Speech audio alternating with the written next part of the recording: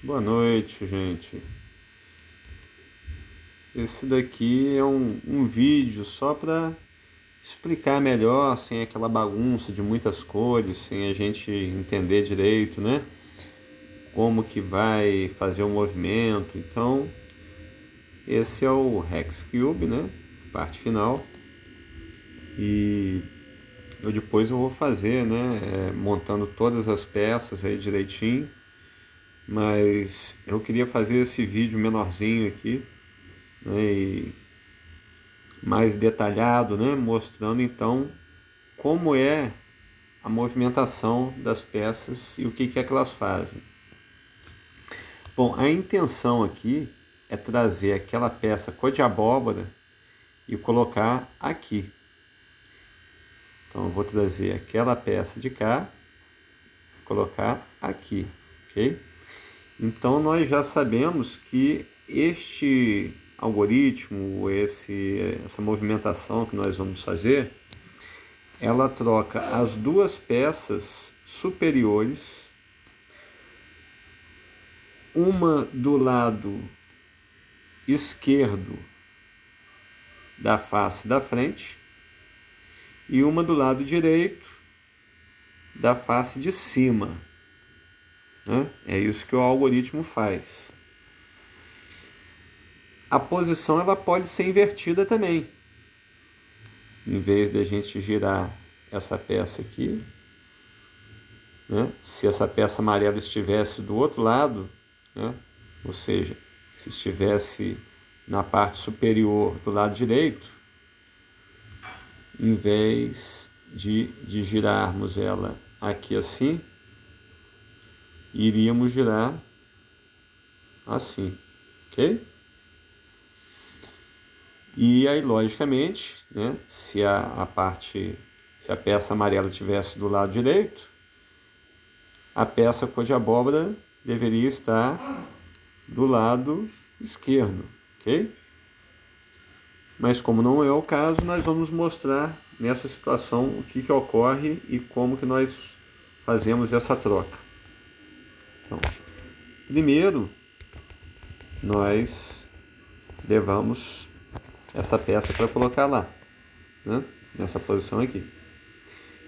Então, nós nos concentraremos nessa parte de cima, traremos ela aqui para frente, e o que era em cima agora passa a ser a nossa frente, ok? Colocamos o cubo assim um pouquinho de lado para a gente ver também ter acesso a essa face azul que vai ser importante aqui para nós. Então nós levamos agora né, a peça laranja junto com a peça é, amarela, como se ela fosse uma flecha, né? Ou seja, ela vai mostrar o sentido que ela vai girar. Então, para ficar bem claro, é, a ponta da peça cor de abóbora, que age como uma flecha, ela tem que girar para cima, ok? Ela vem para cá. Se fosse um cubo físico, nós iríamos segurar na outra ponta, né? na ponta do lado esquerdo, para fazer de girar. Enfim, levamos ela para cima. Não vamos perdê-la de vista, hein? Então, a peça que nós queremos trocar é a que está do lado esquerdo na parte superior, né? na parte de cima aqui. E giramos ela lá para trás do cubo, né? Ó, fazemos essa movimentação aqui. Levamos ela lá para trás, ok? E aí voltamos, né? A gente sabe que no cubo, e quando a gente quer trocar a peça, a gente faz um movimento e depois desfaz. Então, como movimentamos primeiro esta camada aqui, ó, agora nós voltamos ela, voltamos. Em segundo ponto, nós levamos a que estava lá em cima lá para trás, né? Então trazemos lá de trás novamente. Ok?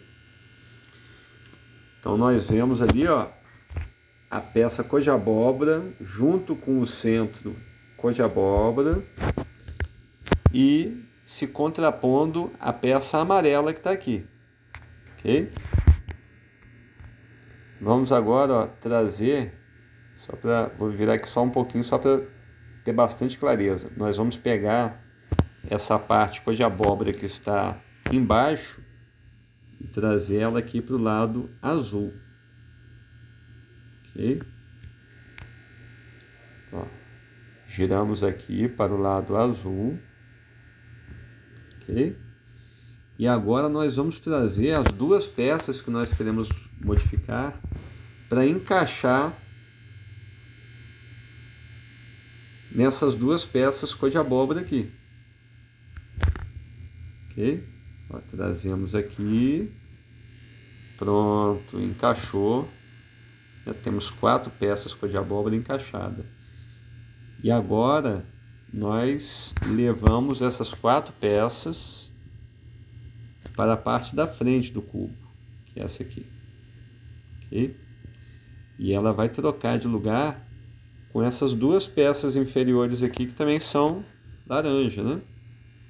Ou cor de abóbora, ou cor de pôr do sol, que seja. Então trazemos aqui, ó. Trouxemos aqui, ficou encaixadinho, né? Direitinho, né? E agora nós vamos arrumar o cubo que ficou meio desfeito, né? Ó, então essa parte vermelha aqui, ó, nós vamos encaixar, levar ela daqui para cima, encaixar com as outras três peças vermelhas e a parte branca vai, né, se encontrar com as outras peças brancas. A parte azul já foi refeita também. E agora finalmente nós levamos para baixo, em, contra, em oposição a face vermelha, né? Levamos aqui para baixo essa parte cor de abóbora, que nós já organizamos ela. Ok? E aí, tchau, com bastante tempo, né? Eu demorei muito tempo que eu parei, fui fazer outras coisas, deixei aqui direitinho né? o, o cubo né? parado aqui para poder fazer esse vídeo aqui.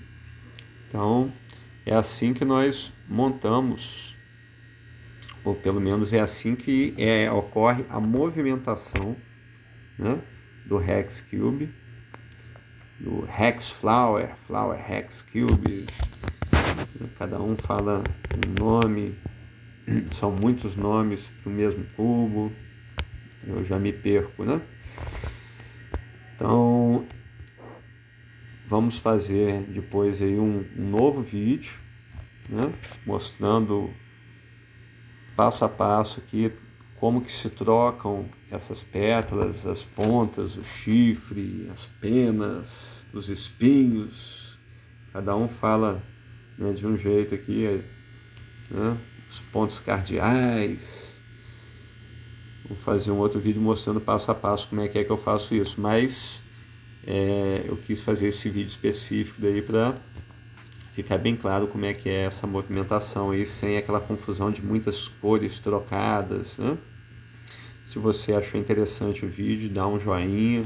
Não se esqueça de inscrever, né? Se inscreve aí. E se você achou que o vídeo pode interessar alguém, faz essa gentileza aí de compartilhar o vídeo, ok? Um abraço.